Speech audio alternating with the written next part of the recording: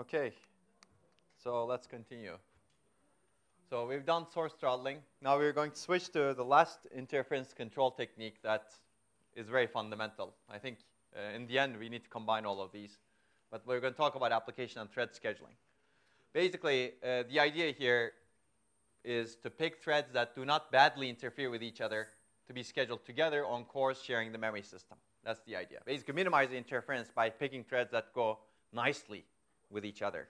And there are many ways of doing, thinking about this. I'm not going to cover a lot of ideas here, but I'm going to give you one example uh, that tries to do a lot of things at the same time. Uh, uh, so, for example, uh, this, this work uh, where, we, where we really looked at uh, minimizing the shared system, overall memory interference in a multi-core system that's relatively scalable with an on-chip network, there are several ideas. We want to cluster the threads to the memory controllers to reduce across-chip interference isolate interference-sensitive or low-intensity applications in a separate cluster. Similar again, mice versus elephant. Schedule the threads to different cores such that they can minimize interference. Uh, and place applications that benefit from memory bandwidth closer to the controller. These are three key ideas. And this is all handled with thread scheduling. It's called application core mapping policies in this case. So basically, very quickly, I'm not going to go into the details of the paper a lot, but basically one of the issues with on-chip uh, distributed systems like this is you have memory controllers at some places, and you have a shared cache bank that you may access at some other place. So what happens over here is you have one application accessing a shared cache bank, and it gets the data. But if you get a cache miss, you need to first go to the memory controller, wait for the memory, and then memory controller responds back to the cache, and then cache responds back to the core, right? So there's a lot of traffic that happens this way. And if you think of a light application that's accessing this memory controller, it may get interfered by this heavy application that's also accessing that memory controller. Right? I've shown you this earlier before. You get significant slowdowns depending on your network design, depending on your placement of the applications, depending on the intensity of the applications. So basically, we wanted to uh, spatially schedule these applications to these different cores. Assume that these are all single-threaded applications. You have uh, there, there, are many questions over here. How do you map the applications to the cores? Uh, what are the challenges? How do you reduce the communication distance between the application and the cache, between the application and the memory controller? How do you reduce destructive interference between applications? And how do you prioritize applications to improve throughput? Uh, this paper tackles these issues. I'm not going to talk about that, but its approach looks like this, basically. Uh, the first thing is clustering, and this is pictorial view. Uh, clustering means you limit the reach of an application, uh, meaning that this application is partitioned uh, uh, in the, into this cluster. And it can also use the, it can only use the caches in this cluster. It can only use the memory control in this cluster. This is going to reduce a lot of our load as opposed to all of the applications ha having ability to access everywhere. It's going to improve locality of access also over here. It's going to reduce interference. So that's one big uh, item over here. My software, yes. Yeah, exactly. Yeah, this is all software over here. The next one is balancing. You want to balance the load somehow across those different clusters such that no one cluster is worse than other because there's, there's uh, bandwidth and uh, basically there's cache bandwidth and memory bandwidth over here. So if you actually oversubscribe one of the clusters, that's not good. So ideally, you would like to do as much as possible to maximize your bandwidth utilization. But you also need to be careful. There are some light applications, the, uh, the yellow ones over here. Maybe you want to isolate them because they're early mice and you don't want them to be interfered by these heavy applications over here. So that's the isolation. You're, it reduces interference. And finally, uh, radial mapping. Radial mapping means that applications that require memory bandwidth a lot should get mapped to uh, where, wherever they can receive memory bandwidth a lot. So that looks like this, basically. That improves the bandwidth utilization. So that's the idea or a set of ideas that are developed in this paper to tackle many issues at the same time. So step one, clustering, I'll go through this relatively quickly. This is the baseline. An application may be accessing many different caches, many different memory controllers across the entire chip. Why do we do that? This is inefficient. Basically, the idea is to limit the reach of each application. Now, you can access here. Somebody else can access here, but you don't interfere with that somebody else. So it improves your locality over here because it's shorter distance, and somebody else's locality over here and reduces interference uh, between them.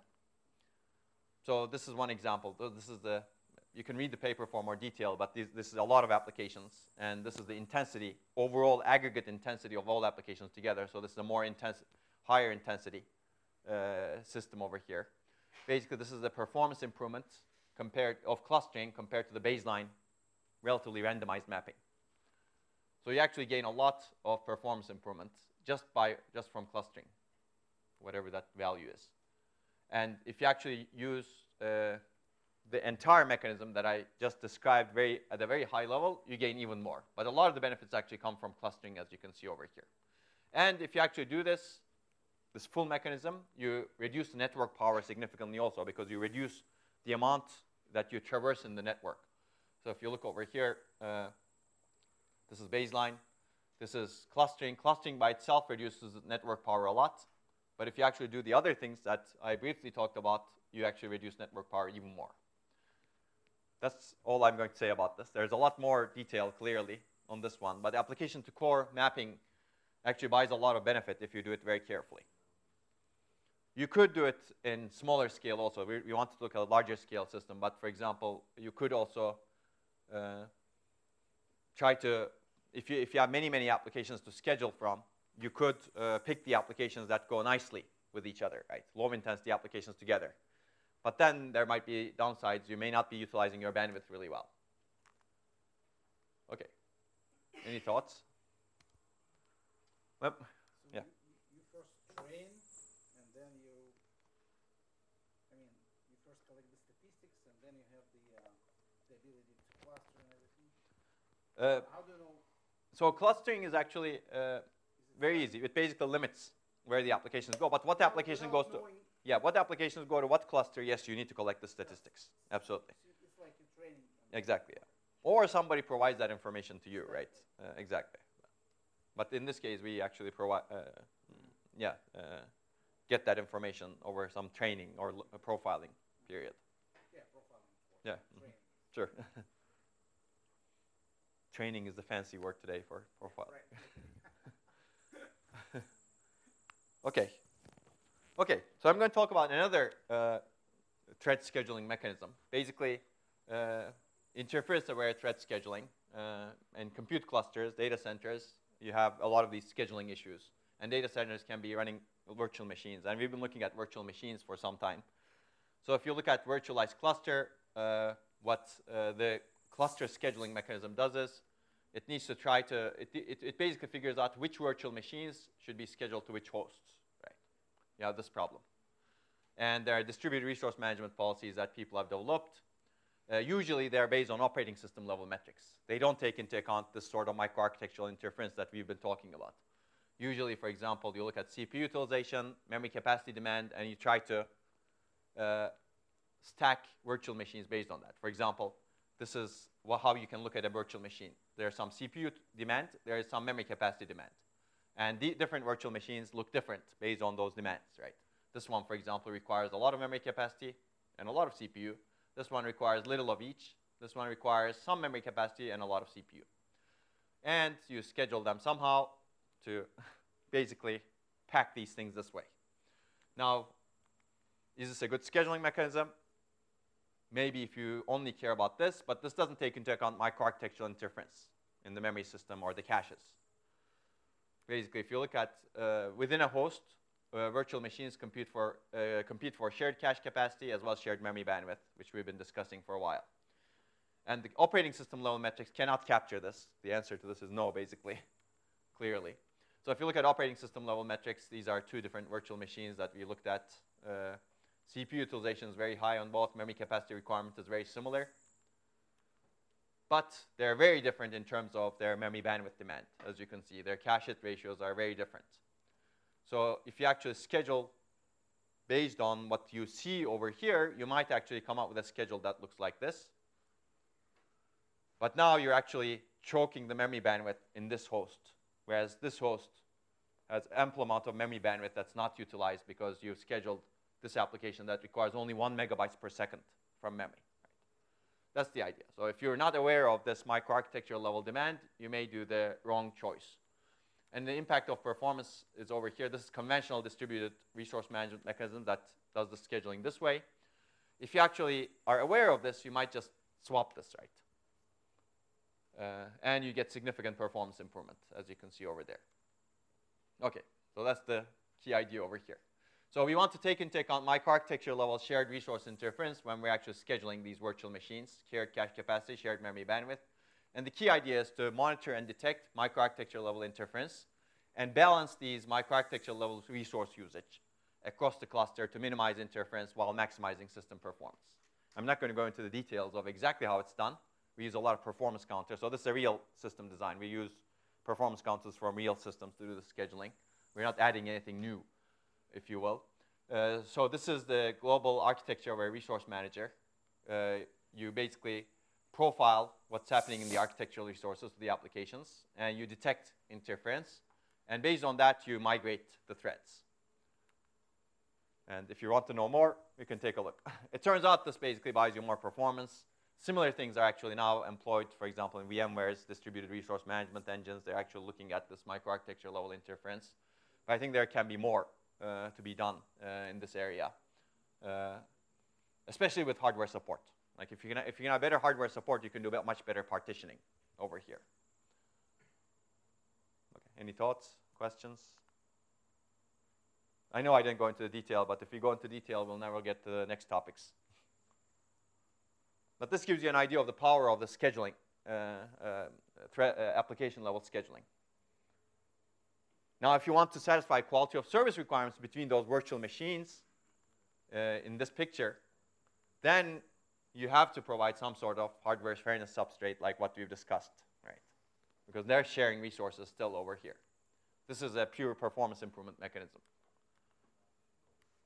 Okay. So uh, interference-aware thread scheduling, uh, it has advantages.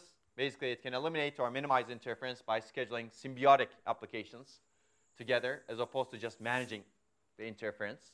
So in a sense, it has similarities uh, to source throttling also. Uh, because it can reduce the load on a particular node. It's less intrusive to hardware because there's less need to modify the hardware resources. Uh, but of course, it comes with an overhead. If you made the wrong choice again, there's high overhead to migrate threads and data between cores and machines. Uh, and it doesn't work well if all threads are similar and they interfere with each other. Basically, you need to have a lot of heterogeneity between your different threads to be able to take advantage of these. They, they usually count on heterogeneity.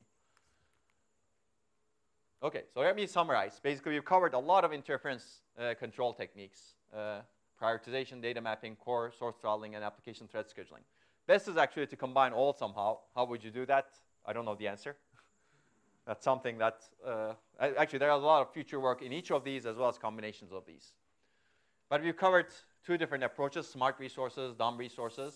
Smart resource, we spent a lot of time on quality of service aware memory scheduling. We talked about source throttling and channel partitioning as examples of dumb resources, meaning keep the resources dumb.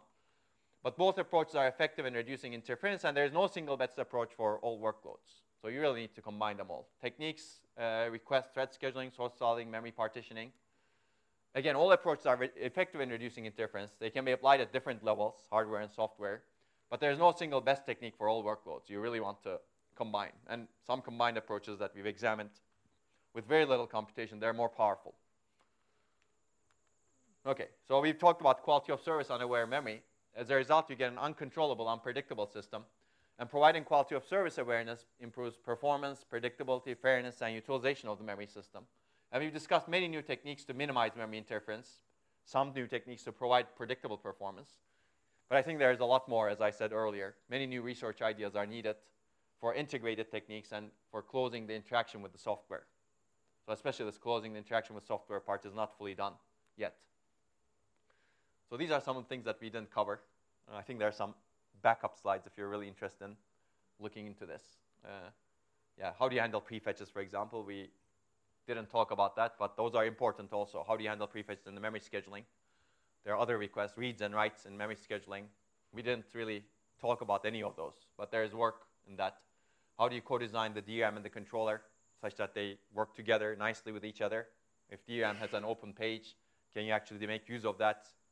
Uh, actually, this, this should be DRAM and cache co-design or something like that. DRAM controller co-design doesn't make sense, right? It should be DRAM cache, last level cache uh, co-design. So if you, if you have a row buffer that's open, for example, in DRAM, you might as well use that to clean some of the dirty lines in your cache. Uh, cache interference management, we didn't cover, but you can read a lot of papers on that. Uh, interconnects, write-read scheduling, uh, DRAM designs to reduce interference. Maybe I'll cover that. Let me think about it. There's also interference issues in near memory or in-memory processing that we didn't really touch upon. So if you have an in-memory processor, how, uh, how do you handle interference? How do you handle access control to that, right? That, that's important. Okay, what the future may bring, I think, uh, I think we need more. Uh, this is one example. I think it's good to look at the real implementations, like FPGA-based implementations. Our infrastructure is actually very flexible to, be, to enable that sort of prototype implementations at least. And uh, yeah, interference and quality of service in the presence of even more heterogeneity is in, very interesting also. Okay. Any questions? So this is the infrastructure basically. I think there's a lot of quality of service that um, um, uh, research that this infrastructure can also enable. I don't know if I want to go into some other ideas over here. Any questions? Thoughts? We need to do some time budgeting. I could spend 20 more minutes on some other ideas, or we could move to interconnects, or we could move to heterogeneous multi-core.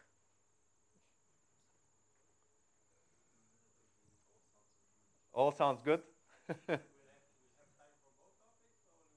oh, I see. I'm not sure. okay. What about this? You're tired of this? if I give you a little bit more. this looks at a system level interference issue. Okay, he likes it. Who else likes it? Does it sound better? no. Okay, some people like it, some people don't like it.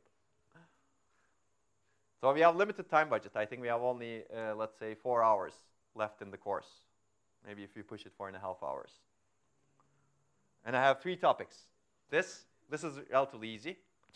Uh, and interconnect, interconnection networks and heterogeneous multi-core. So let's take a vote. Who wants this topic to be definitely covered?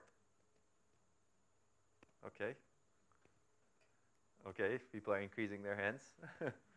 who, who wants uh, interconnects to be covered? Oh, wow. Who wants heterogeneous multi-core to be covered? Oh, I cannot make a decision now. it's almost equal, right? I'm not going to do bean counting at this point. I hate bean counting. There, there's so many bean counters in the world. Yeah. Hmm? Flip a coin. Flip a coin. Okay. I think people like this one. what do you think? This is a mouse, right? yeah. This is what? This is a mouse. It's a mouse. I see. That's right. That's right. This is yeah, exactly. Those are elephants. So let's cover the mouse. So we're going to use the principles that we've developed over here. Prioritize the mouse. okay. So I like this because this is actually interesting. Uh, this is combining what we've discussed in the past with the interference. So how do you actually take advantage of a new DRAM substrate or slightly modified DRAM to handle some of the big bottlenecks, in my opinion, uh, at, at the system level? And uh, the idea is actually uh, this. So if you look at the logical system organization that we have today, basically we're going to tackle the issue of interference between the CPU and the I.O. devices. If you look at uh, a system design today, you have the processor and then you have the I.O. devices, and they communicate through the main memory system. I.O. access goes that way, CPU access goes that way, and these things clash with each other. They interfere. Main memory connects processor and I.O. devices as an intermediate layer. So physical system implementation is something different. Basically, this is what happens. I.O. devices get connected through the processor or through the memory controller, to be more accurate, to the main memory, and CPU access is also this way. As a result, you get high contention in the memory channel. Whenever you're doing an I.O. transfer, you're delaying CPU requests. And this also leads to high pin count in the processor as well because there needs to be connection through the I.O. devices to the memory controller. So the approach in this paper is going back to more like that uh, logical implementation. I.O. devices get connected to some other port in main, main, main memory with a main memory, of course, with a DRAM that actually enables that port. That's called dual data port. So you have an enabling uh, I.O. channel that's decoupled and isolated from the CPU channel. That's the idea, basically. At the high level, that's the idea, and we're done at this point, but we can go into a little bit more detail. Uh, I already said the problem, and we wanted to design a new DRAM arch uh, architecture with two independent data ports with little cost. We call it the dual data port DRAM. You connect one port to the CPU and the other port to the I.O. devices. This way you can decouple CPU and I.O. accesses from each other. And there are many applications to this. Some of, uh, these are evaluated, but there's a lot more to be done. For example, you can communicate between CPU and GPU. You have CPU and GPU on two different sides of the memory. That way they don't need to interfere through the same channel, but they communicate through, this, uh, uh through memory. You can do in-memory communication. You can bulk in-memory copy and initialization, again, through uh, this channel and memory and storage communication, page fault, I.O. prefetching. So it can enable a lot. And we see actually significant performance improvements. You get 20% improvement in two-channel two-rank system. And actually, this reduces the CPU pin count because the I.O. device doesn't need to go through the CPU anymore. So let's go through this relatively quickly. The problem in a little bit more detail. This is what happens, basically. You have this I.O. interface that gets connected to the I.O. devices. And I.O. Uh, interface interacts with the uh, memory control through the direct memory access engine. And if you want to access main memory, let's say you want to put a page from storage into main memory, you have to go through the CPU. Yeah, this is again a processor-centric mindset, right?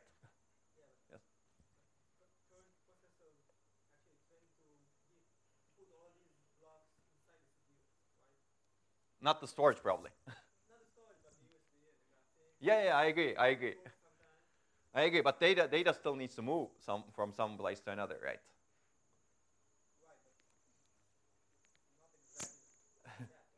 yeah.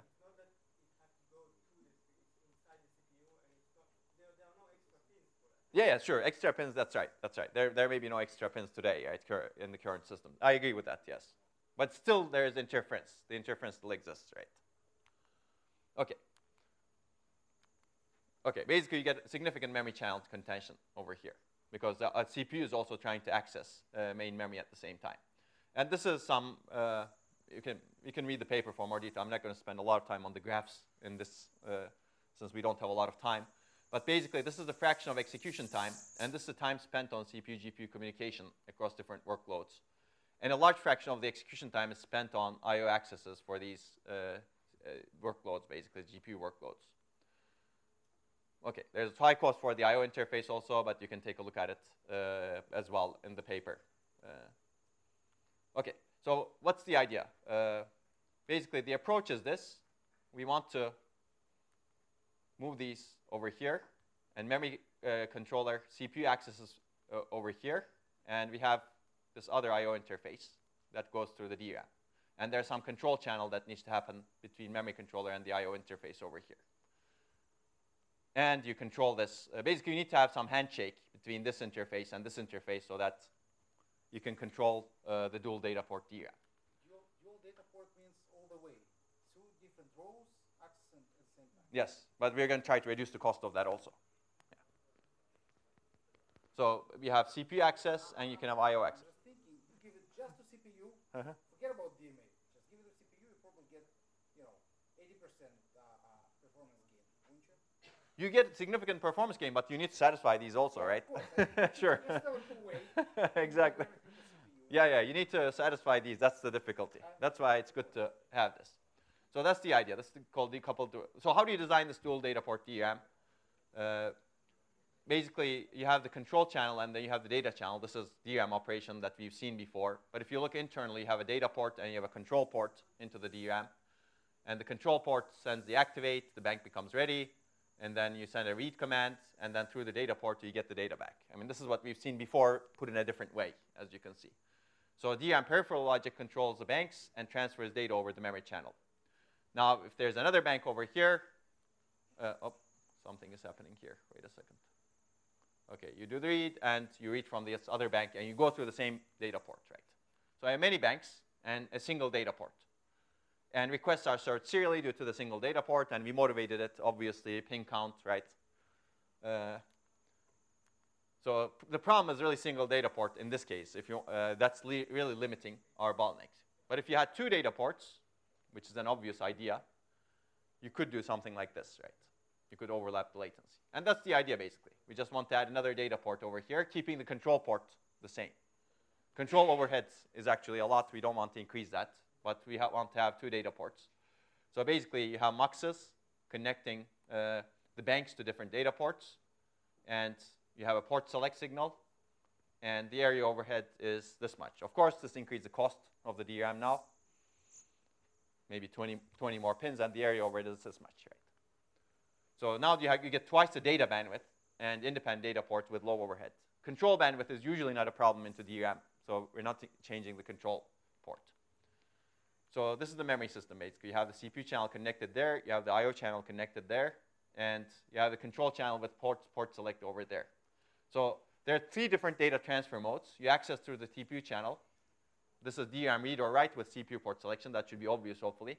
I.O. access, access through the I.O. channel. You do a DRAM read and write with I.O. port selection. And actually, you can do port bypass also, which means that you can directly transfer between the channels, DRAM access with port bypass selection. Let's take a look at these modes very quickly again. Hopefully, this is relatively obvious by now.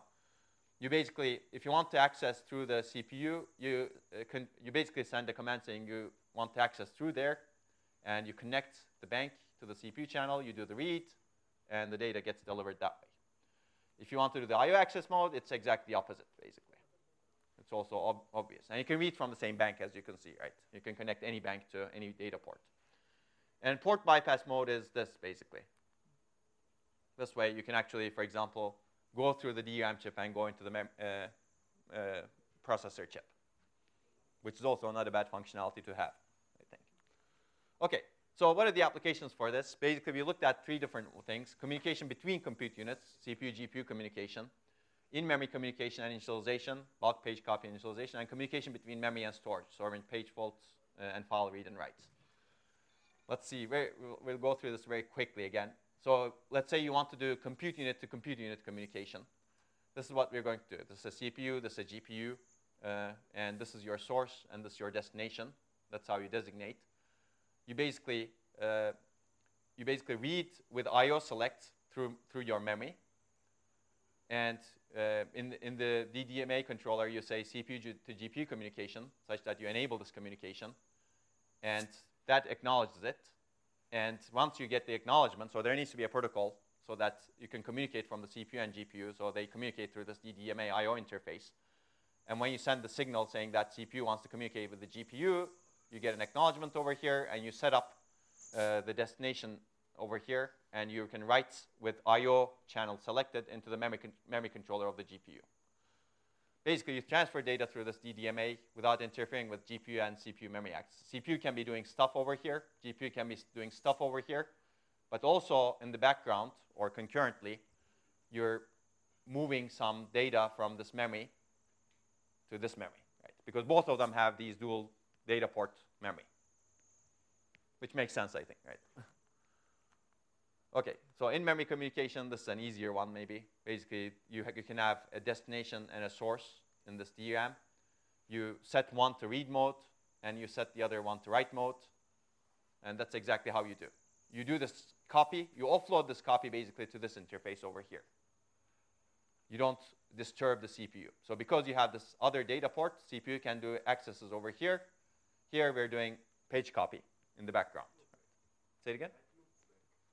Yeah, you can think of it that way, exactly, yeah. But you're not using the channel that the CPU is using because you have extra data port. So hopefully it's, it's not as good as clone, clearly. You're not doing it inside the memory chip, but it's better than what we do today. Okay, that's the idea. And uh, memory storage, hopefully it should be obvious by now. Basically, if you want to transfer something from storage into uh, the memory, which is the destination over here.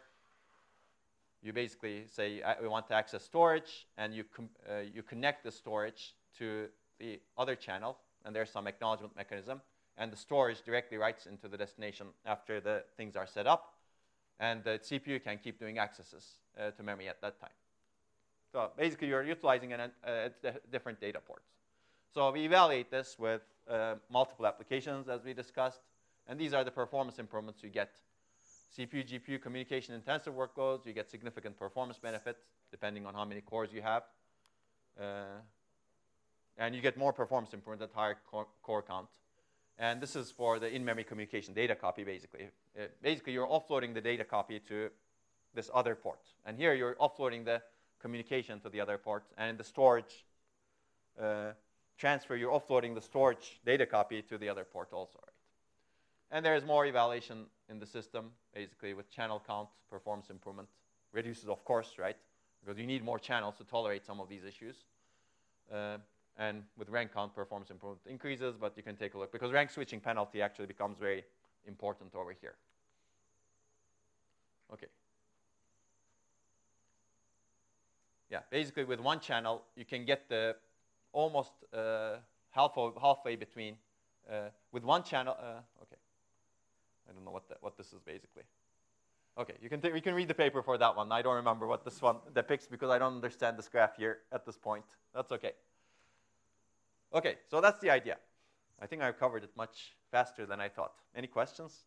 So I think I like this because it really combines the multiple concepts. You, we talked about DRAM design, and we talked about interference. You can actually put, put these things together.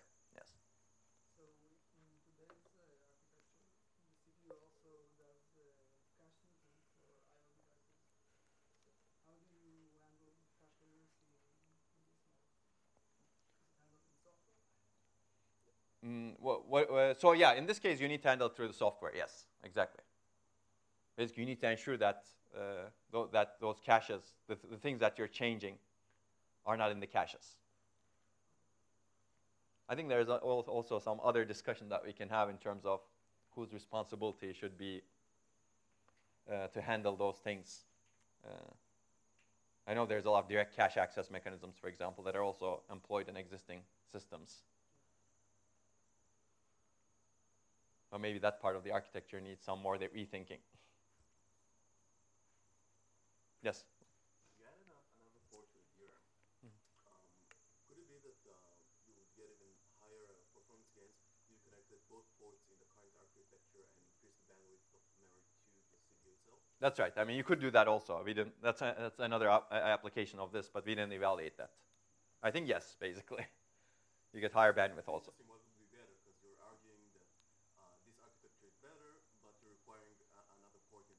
Mm -hmm. Where if you just add a port with the current architecture, mm -hmm. you get even better performance. Yeah, yeah. I think that also improves your performance, even, even if you're not doing this sort of communication, right? Yeah. Yeah, I think once you have a dual data port DRAM, uh, maybe you, have, you design a flexible architecture such that that port is used for multiple different purposes, but then you will have the interference again. Yeah, you can have a port, uh, a port which is underutilized. Uh -huh.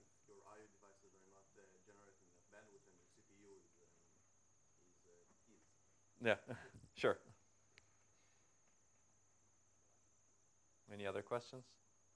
Yes. I want to say that uh, assuming that your purpose is to connect the IO device and the CPU uh, using the memory interface, you don't necessarily have to have a dual port DRAM. You can use the same bus to connect the processor and memory and the IO together. Mm -hmm.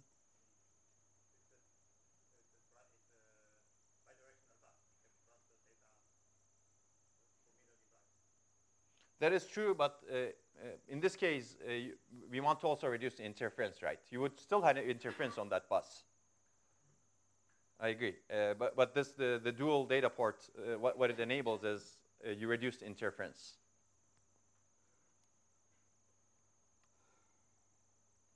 Okay. Any other thoughts? Okay. So this is the end, basically. for, for memory interference and QoS. There, there are more backup slides, but I'll leave uh, those with you. Now this is the real decision time. because whatever we start uh, may really uh, interfere with the other thing.